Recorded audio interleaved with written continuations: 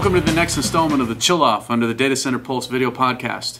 I'm Dean Nelson, and uh, today is pretty cool because I get to share with you some of the actual testing that's going on.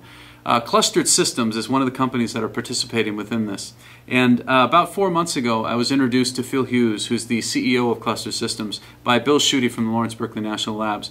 Bill had seen what they were doing, and he says, You might want to go over and take a look at it. So when I did, I saw it, looked very interesting, and uh, decided to test them on it. So we handed them a X4100 server because their concept is to now have fanless servers and use a cold plate technology. I said, prove it with this server, show me what you can actually pull out of it. And they did, and this is what you're going to see. Then we want to go out and start to scale this back up in the chill off itself. So some pretty interesting things that are coming out of this, and I'm really excited about what it's going to mean in the chill off. Check it out.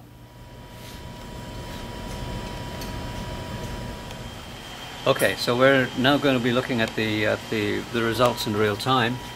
Uh, here you'll see a, um, a picture using a SpeedFan, uh, which is a, a, program off the web, which gives the uh, the temperature indicated by the thermal diodes within the CPUs. And as you can see, at uh, maximum load, uh, both CPUs are uh, core temperatures are about 50 degrees C. that really is unprecedented. And the program we're using, as I mentioned earlier, is the, uh, the um, AMD ThermNow. And these are running at... Uh, and these are running... Uh, each, each processor and each core are running at 2.6 megahertz at 100% load, right? Correct. Okay, and that's actually what's generating the, the uh, temperature, of course, in the, uh, the CPUs here. Correct, yeah. So 50C. Okay. Yep. So that, that actually translates, as you can see, into um, CPU uh, lid temperatures of about 40 degrees C maximum.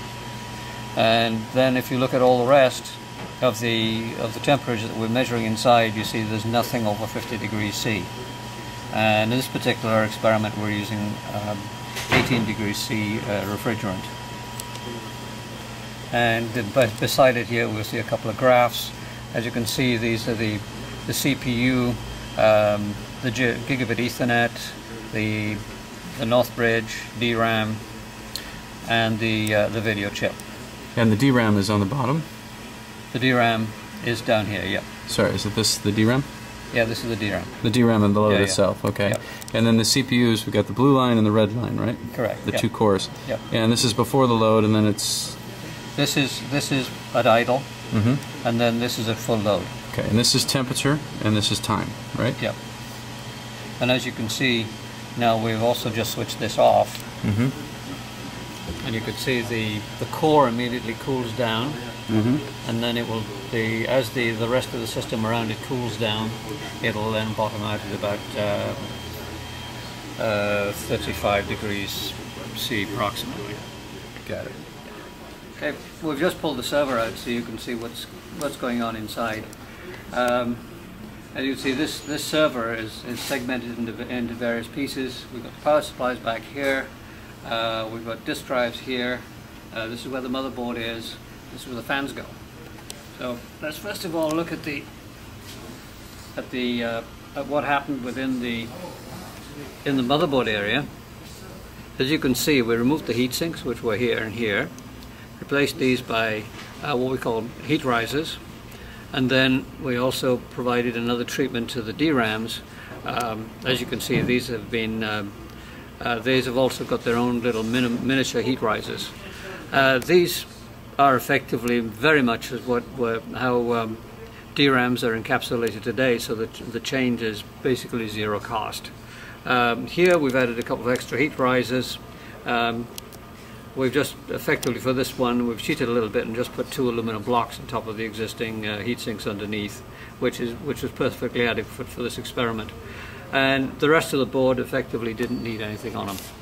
So the heat um, is transmitted to the surface. It gets uh, this uh, this undersurface has got a thermal interface material on it which uh, provides a very, very efficient um, interconnect, thermal interconnect with the heat risers, passes through the lid, uh, which is also treated on the other side with a thermal interface material, and then is uh, is transmitted um, to the to the cold plate, which is under here, uh, and this consists of um, some very fine uh, microchannel tubing. Uh, again, this is uh, this is the this particular uh, microchannel tubing is produced in very high volume and is actually used in automotive. So it is again very low cost. And to show some of the consequences of what happens, again, can't emphasize what happens when you remove the fans. Uh, you get a huge chunk of real estate back and you're going to save a lot of money in fans. So this this technology is both appropriate for the OEM. They save money on manufacturing, and the uh, the end user saves money on electricity. Well, we consider the the concept proven. Uh, what we've what we've done is we've uh, taken the fans out of the system.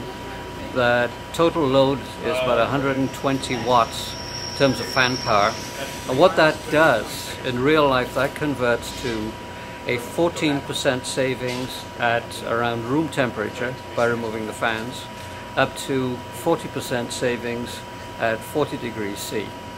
Uh, in terms of what we've done, uh, we can now run our server at full load at 330 watts, uh, whereas before, with, um, with the fans there, we were running at about uh, 430 watts. So it's 100 watts worth of fan power uh, that was not doing anything useful and has now been removed. So as you can see there, uh, they've got some pretty interesting uh, accomplishments so far just with a single server. At a minimum, it's 15% reduction in the actual consumption of that server. And when you think about the residual of that effect across all the other infrastructure it's supporting, uh, it's a pretty significant cut. Uh, the AC to DC debates, the loss of the transformers, of the UPS, the lighting, all that, all of a sudden 15% is a big deal. So I'm very interested in what this is going to look like when it goes to scale. Um, so thank you again for watching and stay tuned for the next updates on the chill off here on Data Center Pulse. Bring the beat back.